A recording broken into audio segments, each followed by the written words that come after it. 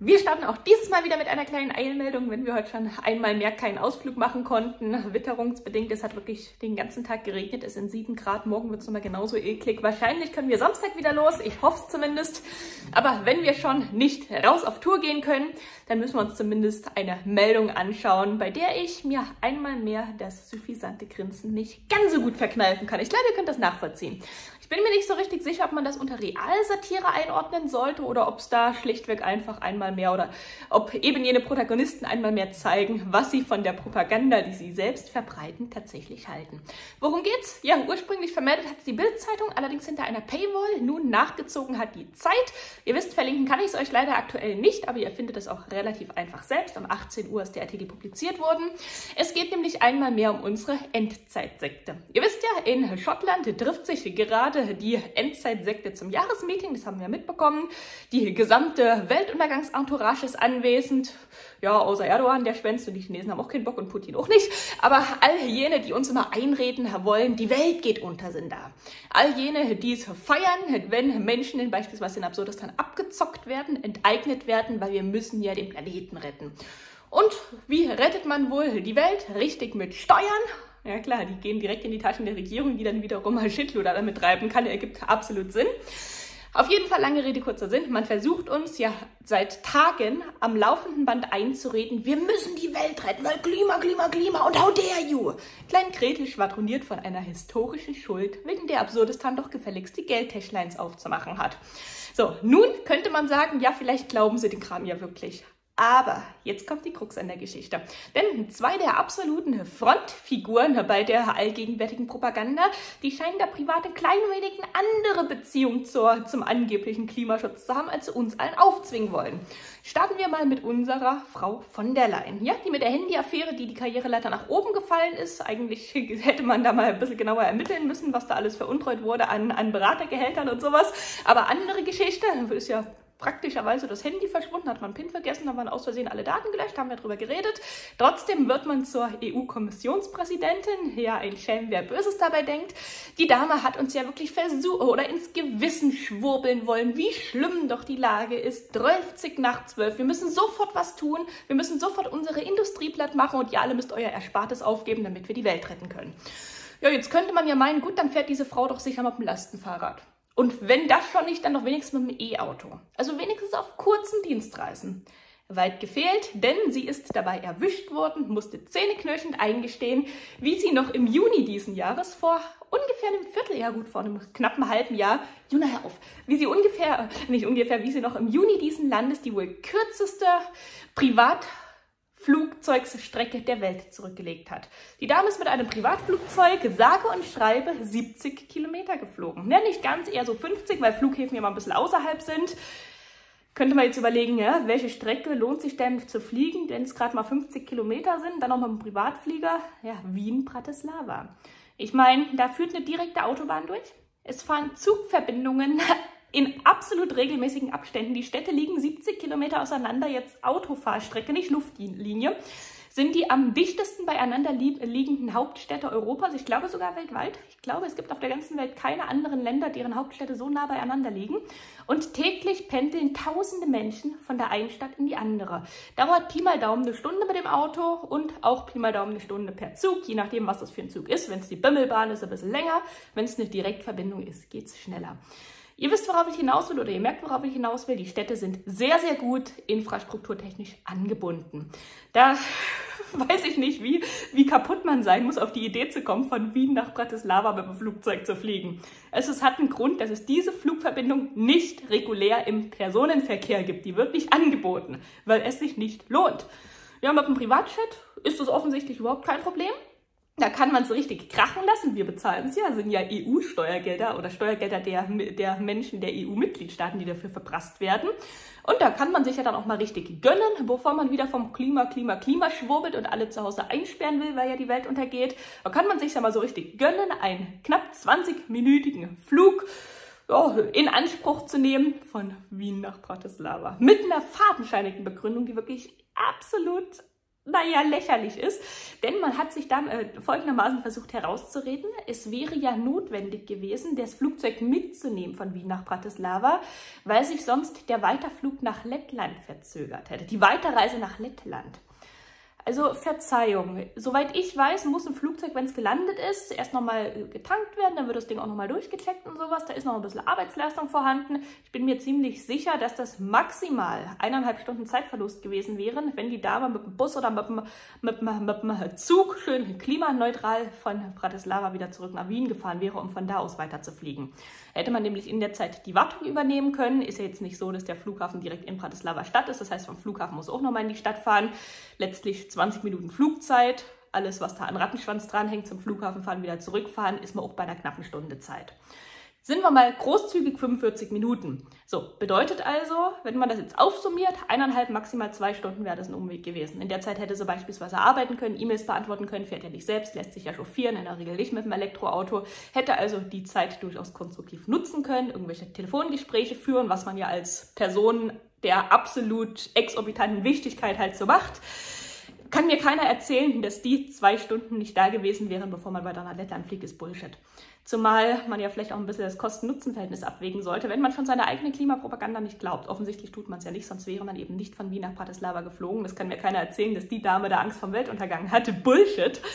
Wenn man schon seine eigene Propaganda nicht glaubt, dann könnte man zum, doch zumindest ein bisschen verantwortungsbewusst mit fremden Geldern umgehen. Mir ist mal gesagt worden, ich weiß nicht, ob die, ob die Information da aktuell ist, dass wohl alleine so ein Startslot an einem Flughafen, Pi mal Daumen, 5000 Euro kostet. Kommt sich auf den Flughafen an, das hat mir damals jemand aus Zürich gesagt, dass das wohl so wäre, dass alleine die paar Minuten, die man dann starten darf, wo dann die Landebahn freigehalten wird, dass das wohl schon im vierstelligen Bereich kostet. So, alleine die, die Genehmigung, dass man da überhaupt mit seinem Flugzeug abheben darf. So, das Ganze haben sie jetzt zweimal gemacht. Und die, Land die Landung wurde ja auch bezahlt. Und dann die Abfertigung des Flugzeugs und so weiter und so fort. Das ist ja alles nicht kostenlos. Heißt also, das hat man einmal in Wien bezahlt und dann nochmal in Bratislava. Minimum 10.000 Euro verpulvert. Also jetzt ohne das, was noch draufkommt an Wartungskosten und so. Ja, wofür? Für nichts, weil die Dame offensichtlich nicht in der Lage ist, mal eine Stunde im Zug zu sitzen. Aber wer ihr, fahr, ihr traut, ihr wagt es euch, mehr als einmal im Jahr in den Urlaub zu fliegen. Haut ihr auch, oh, mehr als einmal im Jahr, mehr als einmal in zehn Jahren, dann ist Weltuntergang. Oder ihr erdreistet es euch, einen, einen Verbrenner zu fahren statt einer Gretel-Gondel. Hm. Aber die von der Leyen ist nicht die einzige, wobei das Level an, an Verhöhnung der Menschen, das könnte eigentlich kaum noch höher sein. Das ist wirklich Endgegner, was die Dame macht. Für eine Strecke von 50 Kilometer fliegt ihr mit einem Privatflugzeug. Ja, Dekadenz lässt grüßen. Es geht aber noch weiter. Und das ist jetzt sogar noch ein bisschen aktueller, denn am Dienstag hatte Boris Johnson eine emotionale Rede gehalten. Es müssen doch Taten folgen. Man darf ja nicht nur drüber reden, dass man die Welt retten will. Man muss es doch endlich tun. Wir, wir haben keine Zeit mehr hat er geschwurbelt in Glasgow beim Jahresendtreffen der Untergangssekte. Und was hat er im Anschluss gemacht? Ja, dreimal dürfte raten, rhetorische Frage. Er ist in ein Privatflugzeug gestiegen und von Glasgow nach London geflogen. Dort ist er dann essen gegangen. Und zwar in einem exklusiven Privatclub, so ein, so ein Männerverein. Ist jetzt nicht so, dass ich damit ein Problem habe, nicht falsch verstehen. Es gibt ja auch Frauenclubs, warum nicht auch exklusive Männerclubs, ist ja völlig okay. Ist aber dorthin mit einem Privatflugzeug geflogen, um sich da dann mit dem ehemaligen Chefredakteur vom Daily Telegraph zu treffen. Der wiederum ist ziemlich bekannt dafür, dass er bei dieser ganzen Weltuntergangspropaganda nicht unbedingt mitmacht.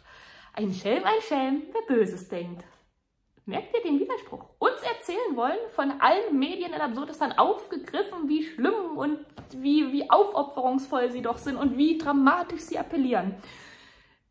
Rumheulen vor versammelter Medienlandschaft, wie schlimm doch angeblich der Zustand der Welt ist, anschließend in seinen Privatflieger steigen, ein paar hundert Kilometer nach London zum Mittagessen fliegen und sich da dann auch noch ausgerechnet mit jemandem treffen, der nun wirklich kein unbedingter Befürworter dieses ganzen Gretel-Irrsinns ist. Zeigt für mich einmal mehr, naja, hm, da glaubt wohl jemand selber nicht an das, was er schwurbelt. Ist jetzt schon Beispiel Nummer zwei. Aber es wird ja immer darauf verwiesen, die Länder, die warnen doch, die sind doch so tief betroffen, beispielsweise in der Südsee beziehungsweise in Ozeanien, wo ja der Meeresspiegel massiv steigt, wird uns zumindest erzählt. Habe ich ja gestern in der Eilmeldung schon gesehen, es passt, äh, gesagt, es passt nicht so wirklich zusammen. Denn wenn da Inseln doch da, äh, bedroht wären von einer Überflutung, da würde ich vielleicht in Hochwasserschutz investieren oder in irgendwelche Maßnahmen, damit die Menschen da in Zukunft noch sicher leben können. Da wäre es aber das Letzte, was mir einfällt, da einen neuen Flughafen draufzustellen und vor allem das wirklich aller, allerletzte, dann, da in Luxusimmobilien zu investieren im Millionenbereich. So, ich meine, wer von uns wäre so dämlich, auf eine versinkende Insel in eine Luxusvilla zu stellen, von der man aus dem Bett direkt an den Strand fallen kann? Keiner! Was will ich mit einer Luxusvilla, wenn die in fünf Jahren versunken ist? Komischerweise wird das gemacht. Der, der, die Industrie oder wie nennt man das? Die Branche der Luxusimmobilien in eben jenen angeblich ach so stark vom, ihr wisst schon was, betroffenen Regionen, die boomt. Könnt ihr jeden fragen, der dort einheimisch ist oder entsprechend da, naja, geschäftlich tätiger ist. Kann euch jeder bestätigen, außer natürlich eben jene Damen und Herren Politiker. Jetzt stellt sich natürlich die Frage, habe ich auch gestern schon gesagt, woran liegt es denn, dass die jetzt alles so laut rumopfern, wie schlimm alles ist? Naja, weil der Druck gefüllt ist, ganz einfach. Die EU muss, um ihr Gesicht nicht zu verlieren, natürlich ein bisschen Geld locker machen. Wenn die erzählen, alles ist ganz, ganz schlimm, dann müssen sie auch irgendwas machen, so placebo-mäßig. Und was ist da das Einfachste? Natürlich unser Geld auszugeben. So, und die Nutznießer des Ganzen, die werden ja wohl den Teufel tun, zu sagen, oh, behaltet mal das Geld, das brauchen wir nicht. Natürlich stellen die sich hin und sagen, na, hier bei uns ist ganz schlimm, wir bräuchten da was. Und da ist es auch schlimm, unsere Kollegen brauchen auch was, ganz, ganz dringend, sonst versinkt unsere Insel ja, wie viel des Hilfsgelder, äh, der Hilfsgelder zum Kampf gegen, hm, hm, hm, darf man auch nicht mehr aussprechen, wie viele der Hilfsgelder letztlich in die Entwicklung von Luxusimmobilien, Fünf-Sterne-Hotelanlagen und neue Flughäfen fließen, das ist natürlich nicht überliefert. Aber da sieht man einmal mehr, wie die Menschen verarscht werden. Also wirklich im wahrsten Sinne des Wortes verarscht werden. Jemand, der den Mist, den er erzählt, glaubt, der fliegt nicht 50 Kilometer mit dem Flugzeug. Die 50 Kilometer hätte es auch mit, mit dem Elektrofahrrad fahren können. Gibt es ja durchaus mittlerweile auch Elektrofahrräder, die ja recht hohe, recht hohe Geschwindigkeiten erreichen. Dann haben sie noch versucht rumzureden in der von der Leyen-Geschichte, ja, es wäre ja notwendig, dass sie auch die anderen Länder besucht, um zu zeigen, dass Europa vereint ist. Also erstens bin ich mir ziemlich sicher, dass die meisten Mitgliedstaaten überhaupt keinen Bock auf die Frau haben. Und auf der anderen Seite, ja, mag ja sein, dass es zum Amt ein Stück weit dazugehört, dass man auch durch die Europäische Union reist. Aber warum macht man das dann nicht so, wie man es allen anderen Leuten aufzwingen möchte, nämlich per Bahn? Wäre doch okay. Es gibt doch ein gutes Zugnetz äh, Netz in, in Europa. Kann man das nicht verwenden? Also selbst Kim Jong-un Jong fährt beim Zug. Ja, mit seinem eigenen, schon klar. Aber selbst der reist klimaneutraler, als die von der Leyen das tut. Sollte uns ein bisschen zu denken geben.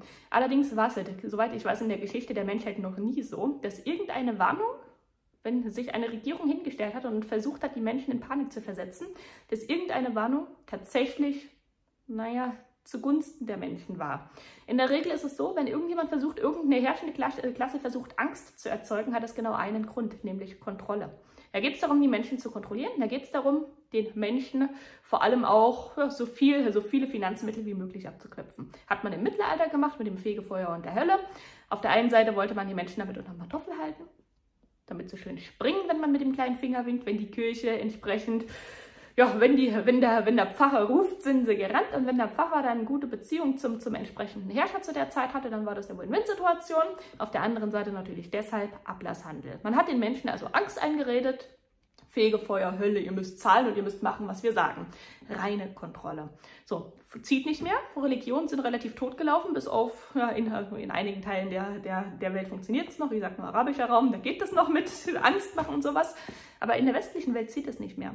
Ja, Zombie hat man gut versucht, hat auch eine gewisse Zeit funktioniert. Mittlerweile bröckelt die Zombie-Fassade. Und dann, man hat ja vorher schon ganz, äh, ganz geschickt das Narrativ vom Weltuntergang vorbereitet. Das heißt, den Weltuntergang kann man jetzt aus dem Hut zaubern, um den Menschen wiederum Angst einzureden, die Menschen zu kontrollieren. In ihren Handlungen dahin zu bewegen, wo man sie gerne hätte. Auf der einen Seite, um Geld rauszuziehen, neue Steuern und so weiter und so fort mit der Begründung Weltuntergang. Auf der anderen Seite, um die, um die Verhaltensweisen der Menschen ja, zu regulieren. Drücken wir das mal so aus. Damit die Menschen brav kuschen, brav das machen, was die Regierung erzählt. Da muss immer irgendwie ein bisschen Angst gemacht werden, weil Angst zieht nun mal in aller Regel am allerbesten, wenn man den Menschen Angst einredet, gleichzeitig Lösungen anbietet, Pseudolösungen anbietet, Ablasshandel, dann, na, dann hat man so ein bisschen das Spiel guter Bulle, böser Bulle. Ich erzähle euch zwar, wie schlimm alles ist, aber ich gebe euch den Ausweg, ihr müsst mir nur Geld geben, dann ist alles wieder gut. Ein bisschen überspitzt gesagt, ihr versteht das, glaube ich, schon. So, heißt also, wenn eine Regierung eine Gefahr hochstilisiert, macht sie das nie zum Schutz der Bevölkerung. Macht sie immer aus eigenem Interesse, um letztlich Kapitalprofit rauszuschlagen. Ganz anders sieht es aus, wenn eine, echte, wenn eine echte Krise vorhanden ist, wenn wirklich eine Gefahr besteht. Das haben wir nun auch schon an vielen, vielen Beispielen in der Menschheitsgeschichte gesehen. Wenn es wirklich eine handfeste Gefahr gibt, wird meistens heruntergespielt, weil man Panik vermeiden will. Man will nicht, dass die Menschen in Angst und Panik geraten und man sie dann in dem Fall nicht mehr kontrollieren kann, weil sie eben verängstigt sind. Heißt, wenn wirklich was im Argen liegt, war es bisher fast immer so, gerade in der jüngeren Geschichte, dass man solange es ging heruntergespielt hat. Solange es ging, hat man versucht, das aus, auszublenden, nicht drüber zu reden, nach dem Motto, ja, alles Friede vor der Eierkuchen, gehen Sie weiter, hier gibt es nichts zu sehen. So, und jetzt sehen wir den, den ganz massiven Unterschied. Jetzt sehen wir Medien, die Angst und Panik befeuern. Jetzt sehen wir ein Kind, was in die erste Reihe geschoben wird, die das wahrscheinlich wirklich glaubt. Das, das traue ich dir schon zu, aber die hat ja auch einige Problemchen da selber. Also wenn sie, er sind ja wirklich psychische, psychische Geschichten im Hintergrund, nichts essen und so weiter und so fort. Die schiebt man vor als Frontfigur und dann erzählen uns die Politiker, da ist eine Krise, da müssen wir was machen und deswegen müsst ihr das machen, was wir euch sagen ja, geschickt. Wenn man aber dann im Hinterkopf behält, wie diese Leute sich selbst verhalten, 50 Kilometer von Wien nach Bratislava fliegen, von Glasgow noch nach, nach London fliegen zum Essen, ich glaube, sind, dann sind soweit alle Fragen geklärt. Aber nachher geht es dann ausführlich weiter.